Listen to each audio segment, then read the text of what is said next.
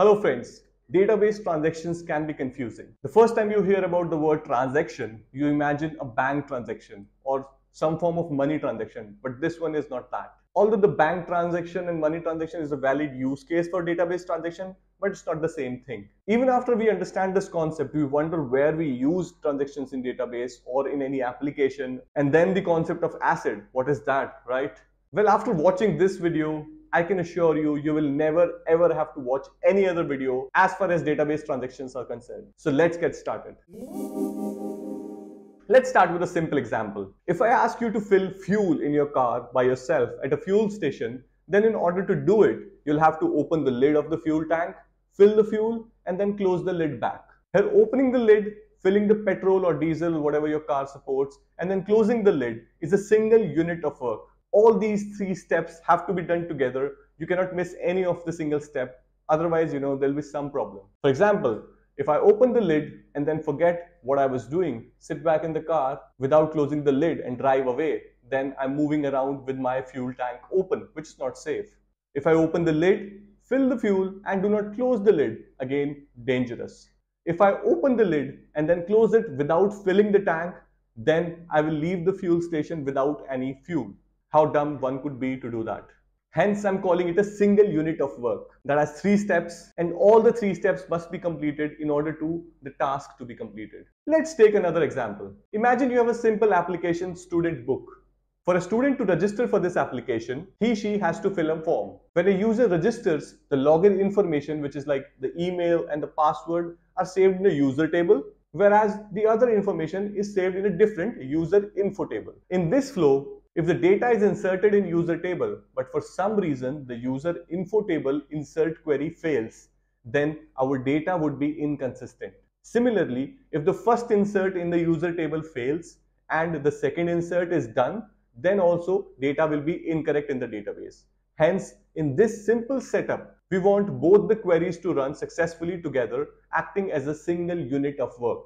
If any one insert query fails, we should fail the entire registration process, show a message to the user to try again. There are many other similar use cases where we want this particular behavior. For example, if you're using an e-commerce website, when you purchase any item, on successful payment, a new order is created, the product stock is updated, and the cart info is deleted. That is one insert, one update, and one delete that must act as a single unit of work. Because if some of it passes and some of it fails, the state of the database and the application becomes inconsistent. Agree? Maybe. I don't know. Let's take one more example, the bank transaction example. If there are two bank accounts, A and B, where A has an account balance of rupees 5000 and B has an account balance of rupees 10,000. Now A wants to transfer rupees 2000 to B.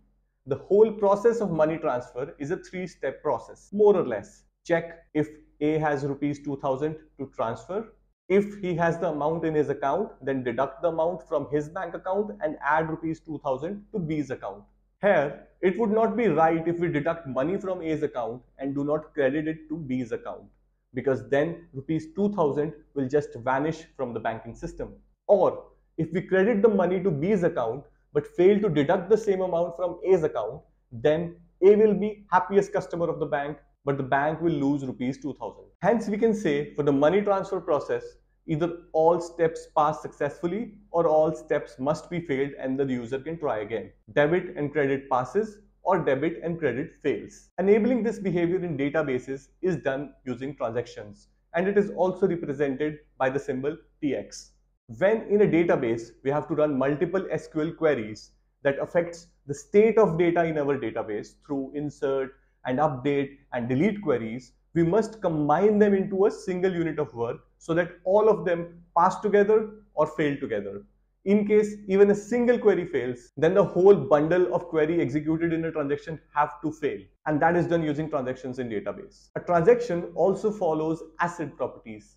ACID not as the chemical acid, but ACID, where A stands for atomicity, C stands for consistency, I stands for isolation and D stands for durability. Atomicity is derived from atomic, which also means one or single, a single unit of work. Hence, no partial success, no partial failure is allowed. Either everything passes or If even a single step fails, then everything is marked as failed. And any changes that were made have to be rolled back.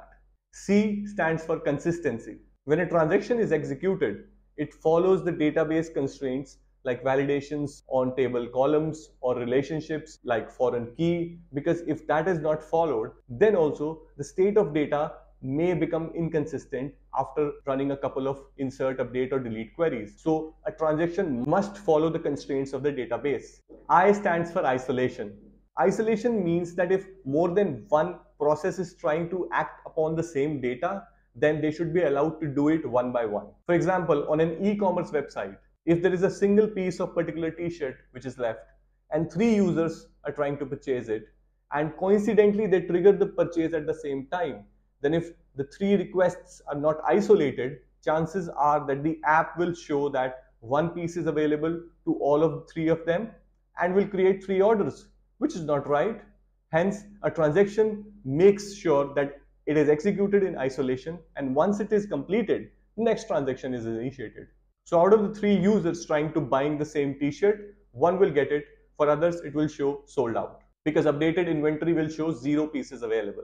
Now, one obvious side effect of this is that it makes the query execution slow because consecutive transactions have to wait. There is no parallel execution. But for important data, data consistency is more important than speed. Last but not the least, D stands for durability. That means whatever actions are performed, they must be permanent. So once a transaction is completed, the changes of the data are permanent. So these are ACID properties a transaction must always follow these properties because then only it will be able to do what it is supposed to do. The concept of transactions is equally theoretical and practical. I've seen a couple of videos on YouTube which says it is more of a theory thing than a practical. I totally disagree with them because we use transactions in our applications every day. All the big applications, all the big websites, all the big softwares use transactions in their softwares all the time. So it is absolutely a practical thing. Now, understanding it can be theoretical, but then that is true for all the concepts. When you work on any application or a website or a software where you store data in the database and perform different operations on the data, you will understand the true value of transactions. Because to make sure multiple SQL queries are executed correctly together, maintaining the correctness of the data, you have to use database transactions. If you want me to show some practical examples of using transactions, do comment below and I will create a video where I can show you how database transactions are implemented while using a programming language in the code. If you like this video, give it a thumbs up, shower your love by sharing the video with your friends and please post your sweet comments so that we can know what we're doing right and what we are doing wrong. If you have any confusion around database transactions, feel free to post a comment and I'll definitely answer all the comments posted in this video. And do not forget to subscribe to the Studytonight YouTube channel and press that bell icon. See you in the next video.